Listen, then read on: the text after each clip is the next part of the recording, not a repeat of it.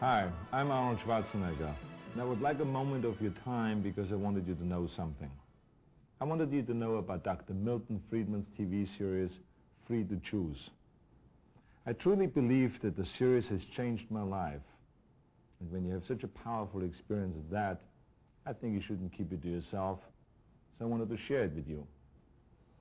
Being free to choose for me means being free to make your own decisions free to live your own life, pursue your own goals, chase your own rainbow, without the government breathing down on your neck or standing on your shoes. For me, that meant coming here to America, because I came from a socialistic country where the government controls the economy. It's a place where you can hear 18-year-old kids already talking about their pension. But me, I wanted more. I wanted to be the best.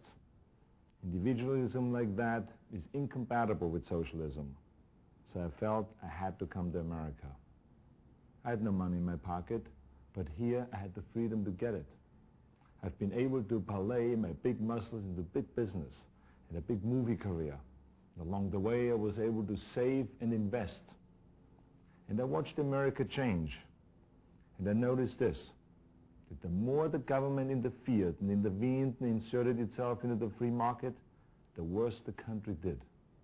But when the government stepped back and let the free enterprise system do its work, then the better we did, the more robust our economy grew, the better I did, and the better my business grew, and the more I was able to hire and help others. Okay, so there I was in Palm Springs, waiting for Maria to get ready so we could go out for a game of mixed doubles. I started zipping through the television dial and I caught a glimpse of Nobel Prize winner economist Dr. Milton Friedman. I recognized him from the studying of my own degree in economics and business, but I didn't know I was watching Free to Choose. It knocked me out. Dr. Friedman expressed, validated, and explained everything I ever thought or experienced or observed about the way the economy works. And I guess I was really ready to hear it.